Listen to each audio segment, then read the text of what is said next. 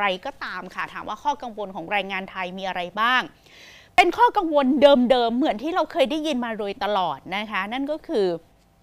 มีข้อกังวลว่าอยากให้ภาครัฐช่วยเหลือเรื่องค่าของชีพ ให้สอดคล้องกับรายได้ อยากให้รัฐบาลช่วยแก้ไขปัญหานี้นอกระบบ อยากให้ช่วยเหลือผู้ว่างงาน อยากให้ดูแลประกันสังคมในเรื่องค่ารักษาพยาบาล แล้วอยากให้ลดอัตราดอกเบี้ยเงินกู้และให้เงินช่วยเหลือด้านสวัสดิการ รายการอินเทอร์วิวเคยพูดถึงส่วนต่าง ของอัตราดอกเบี้ยเงินฝากกับอัตราดอกเบี้ยเงินกู้ในประเทศไทยนะคะว่าค่อนข้างสูงมากนะคะสูงถึง 4 สมมติว่าดอกเบี้ยเงินฝาก 1%ดอกเบี้ยเงินกู้ 5%สมมุติถ้าในอัตรานี้นะคะมันเท่ากับว่าช่องว่างระหว่างอัตราดอกเบี้ยเงินฝากกับอัตราเงินกู้มันมากเกินไปเมื่อเทียบกับประเทศอื่นๆ ถ้า แรงงานนะคะคนที่อยู่ในภาคแรงงานเขาก็บอกว่า ถ้าสามารถลดอัตราดอกเบี้ยเงินกู้ได้ก็จะเป็นการดี ส่วนค่าแรงค่ะ ส่วนใหญ่นะคะแรงงานไทยบอกว่าภายใน 3 ปี หรือภายในปี 2563 อยากจะให้ขึ้นค่าจ้างขั้นต่ำนะคะภายใน 3 ปีเนี่ยควรปรับเพิ่มเป็นวันละ 410 บาท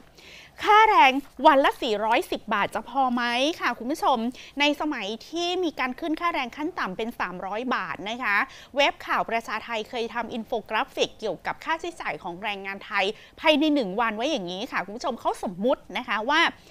ใน 1 วันเนี่ยจะมีค่าใช้จ่ายอะไรบ้างเขาก็สมมุตินะคะถ้ากินกล้วยบวชชี 1 ถ้วย 12 บาท 60 สตางค์ค่าเดินทางรถเมล์นะคะ เฉลี่ย 8 บาทไปกลับ 16 บาท ค่าที่พักสมมติว่าเช่าบ้านนะคะ 2,500 บาทต่อเดือนเฉลี่ย จะเท่ากับว่าจ่ายค่าเช่าบ้านวันละ 83.3 บาท ค่าข้าวแกงข้าวกล่องธรรมดานะคะเฉลี่ยต่อมื้อ 34.57 บาท รวม 3 มื้อ 103.71 บาท สมมติว่ากินผลไม้สักเล็กน้อยนะคะส้มเขียวหวานนะคะกิโลละ 65 บาทน้ำดื่มนะคะขวดละ 7 บาท 50 สตางค์นะคะสมมุติว่ากินวันละ 3 ขวดก็จะเป็น 22 บาท 50 สตางค์เฉลี่ยแล้วค่าใช้จ่ายนะคะประมาณนี้แต่ละคนเนี่ยจะมีค่าใช้จ่ายเฉลี่ยวันละ 303